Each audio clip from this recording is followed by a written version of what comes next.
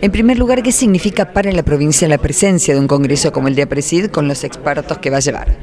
Bueno, a nosotros nos entusiasma mucho, por esto veníamos teniendo conversaciones ya con Pilu, eh, después con el equipo con, con Pedro y ahora con Alejandro. Esta parte bien lo explicaba ahí el ministro Buzo, es decir, estamos de pasar de la declaración a la acción, pero se tienen que dar los espacios y los momentos de discusión a través del conocimiento, a través de la ciencia, pero compartiendo ese norte que es la sustentabilidad.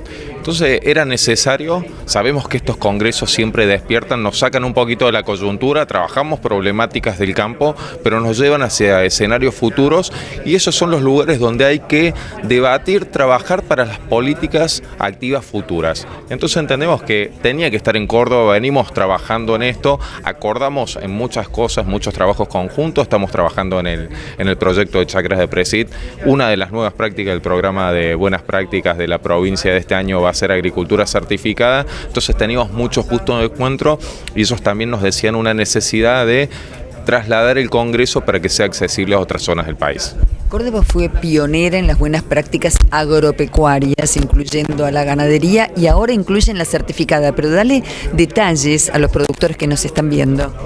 Bueno, fue un gran desafío el año pasado poder validar las prácticas. En, en, realidad era reconocer lo que venían haciendo los productores más allá de lo obligatorio, más allá de las leyes. Las buenas prácticas son esas acciones que generamos más allá de lo obligatorio.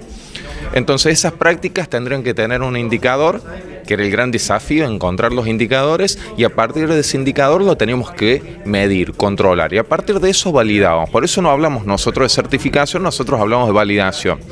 ¿Quiénes validábamos? El gobierno de Córdoba, pero con 50 instituciones que sostenían este proceso y que generábamos las prácticas. Las prácticas, para cuando las presentábamos, todos nos decían son prácticas productivas. Y ahí empezamos a darnos cuenta cuando en esto de trabajar en conjunto y uno dice, no, hay prácticas sociales. El asociativismo no es propio de, del campo. El asociativismo es una práctica social, al igual que la capacitación. Y genera toma de decisiones diferentes y maneras de trabajar diferentes.